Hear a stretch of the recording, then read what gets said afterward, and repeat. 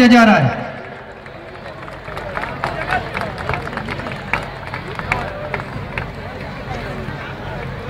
یہ اجرک ہے ایک قوم کی جانب سے ہدیہ تہنیت ہے اور جناب حسین کچھی صاحب کو، اختر کچھی صاحب کو، عبدالقادر پٹیل صاحب کو، چیف گیسٹ جناب حسین ہارون صاحب کو پیش کی جا رہی ہیں۔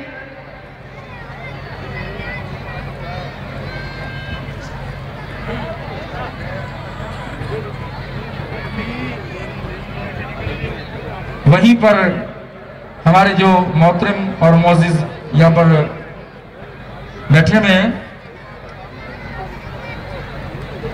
جی اے سندھ قومی محاذ کے رہنماؤں نے ان کو اجرک کا تحفہ پیش کیا ہے۔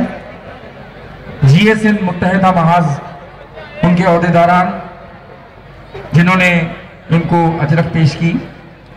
آپ کی پرجوش تالیاں ہونی چاہیے ہمارے ان دوستوں کے لیے بھی، جنہوں نے اتنا مان رکھا۔ اور اسپیشلی ایک بات اور کہتا چلوں۔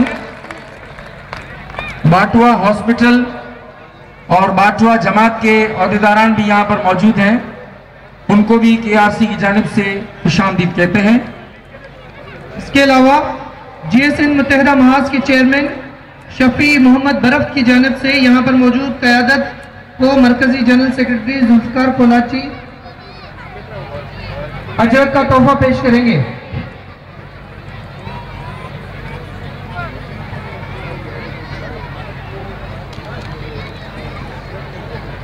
سنی تحریک کے آئے ہوئے معزز مہمانوں کو بھی پنڈال میں خوش آمدید کہتے ہیں۔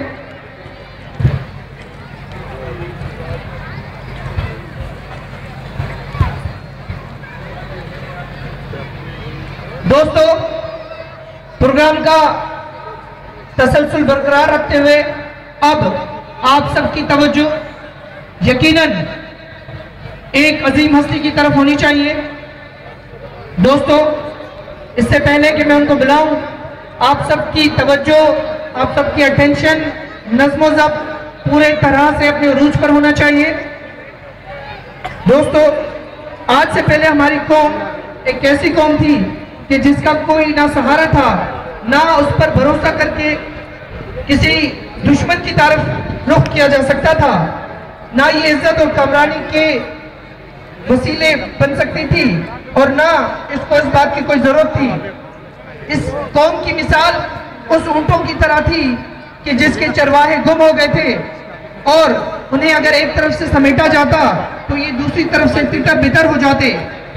دوستو، ہمارے درمیان ایک ایسی عظیم شخصیت موجود ہے جو کچھی رابطہ کمیٹی کے تمام رہنماؤں میں سے چمکتا سورج ہے۔